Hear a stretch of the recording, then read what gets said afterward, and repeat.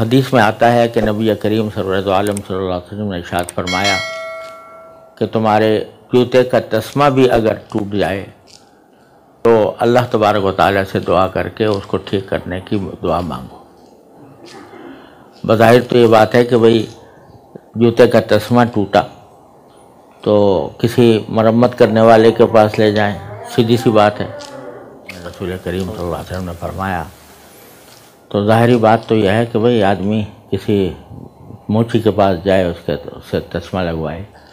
لیکن اس سے پہلے یہ فرمایا کہ دعا کرو، یا اللہ میرا تسمہ ٹوٹ گیا تسمہ ٹوٹ گیا ہے، اس کو درست کرا دیجیے کیونکہ انسان بظاہر اسباب کے اوپر بہت بھروسہ کرتا ہے۔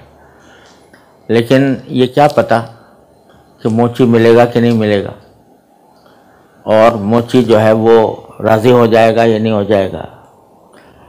اور جتنی وہ اجرت مانگے گا میں دے سکوں گا کہ نہیں دے سکوں گا۔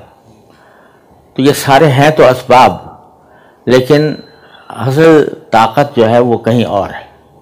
اللہ تبارک و تعالیٰ کے پاس ہے، لہذا اس کو بھی مانگو کہ اللہ میرا تسمہ ٹھیک کر دیجیے یہ کوئی ادنا سی مثال دی نبی کریم صلی اللہ علیہ وسلم نے کہ جو زندگی میں جو حاجت بھی پیش آئے تمہیں، وہ اللہ تبارک و تعالیٰ سے مانگو۔ اللہ تعالیٰ سے اس کی، اس کے بغیر یہ اسباب جو ہیں جتنے بھی اختیار کرتے ہیں، وہ کوئی حقیقت نہیں رکھتے۔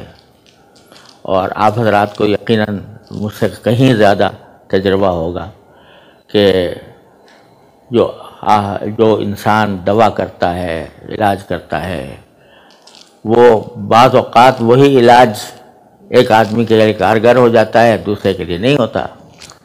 تو یہ تو آنکھوں سے دیکھی ہوئی بات ہے۔ تو اس لیے اللہ تبارک و تعالیٰ کی طرف رجوع یہ سب سے پہلی اور سب سے پہلا اہم کام ہے جو ہم سب لوگوں کو اختیار کرنا چاہیے۔ ہمارے ایک بہت محسن ڈاکٹر صاحب تھے، ڈاکٹر صغیر احمد ہاشمی صاحب۔ بہت خاصی پرانی بات ہے۔ وہ لاہور کے گنگارام ہسپتال میں جو تھے، وہ اس کے ڈائریکٹر بھی تھے، کسی زمانے میں رہے۔ پھر یہاں پرائیویٹ پریکٹس کرتے تھے۔ میرے والد صاحب رحمۃ اللہ علیہ کا خاص معالج تھے۔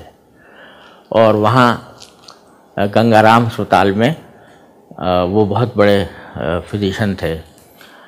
تو اور بڑے میں نے دیکھا کہ الحمدللہ ان کے اندر ہاتھ میں شفا بھی تھی۔ حضرت والد صاحب کا بہت عرصہ علاج کیا، میرا بھی، میں نے بھی کئی مرتبہ علاج کیا ان سے۔ تو وہ ایک جملہ کہا کرتے تھے کہ بھئی ہم نے ساری زندگی میں ایک چیز دیکھی کہ جب دوائی کسی کے حلق میں جاتی ہے تو وہ کہیں اور پوچھتی ہے کہ کیا کروں۔ اور پھر وہ جب وہاں سے اس کو اجازت مل جاتی ہے تو پھر وہ اسی کے حساب سے عمل کرتی وہ یہ پوچھتی ہے کہ آیا اس کو فائدہ کرا دوں یا الٹی پڑ جاؤں؟ تو جیسا ہدایت وہاں سے ملتی ہے، اس سے ساری زندگی کا تجربہ یہ ہے کہ وہ یہ پوچھتی ہے۔ اور پھر واقعات بھی سنایا کرتے تھے کہ جس شخص کے بارے میں ایک مرتبہ انہوں نے کہا کہ میں ہسپتال میں تھا تو وہاں ایک بیڈ کے اوپر ایک صاحب تھے جن سے ہم مایوس ہو چکے تھے کہ وہ اس کا کوئی علاج نہیں ہے اور شاید رات رات میں ان کا انتقال ہو جائے۔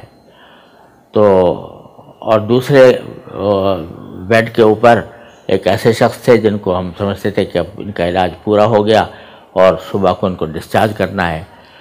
تو میں اپنی جو عملے کو اسٹاف کو کہہ کے گیا کہ بھئی اگر ان کا تو کل کو ڈسچارج کر دینا اور یہ جو بیڈ کے اوپر پڑے ہوئے ہیں، یہ بظاہر ایسا لگتا ہے کہ شاید یہ رخصت ہو جائیں گے، تو تو ان کے گھر والوں کو اطلاع کر دینا۔ کہنے کہ صبح کو جا کر دیکھا تو جس بیڈ کے اوپر ڈسچارج کرنا تھا، وہ فارغ ہو چکے ہیں۔ اور جس میں جنہوں نے کہا تھا کہ جن کے بارے میں خیال تھا کہ یہ انتقال کر جائیں گے، وہ بیٹھے ہوئے ہیں آرام سے۔ تو اللہ تبارک و تعالیٰ ہی کے قبضہ قدرت میں ہے، ہر چیز، ہر اسی لیے میں عرض کرتا ہوں کہ سارے دین کا خلاصہ اور اللہ تبارک و تعالیٰ کے ساتھ تعلق قائم کرنے کا جو اگر بہترین نسخہ ہے، وہ دو چیزیں ہیں۔ ایک اللہ تعالیٰ کی نعمتوں کا شکر اور ایک اللہ تعالیٰ سے اپنی ہر حاجت کو مانگنے کا مانگنے کا تسلسل۔ کہ کسی ہر وقت میں اگر کوئی چیز حاصل ہے تو دل سے شکر ادا ہو رہا ہو کسی وقت میں کوئی چیز حاصل نہیں ہے تو آدمی مانگ رہا ہو۔ تو یہ چیز اگر انسان کو حاصل ہو جائے تو ہر وقت اس کا تعلق اللہ تبارک و تعالیٰ کے ساتھ جڑا رہے گا۔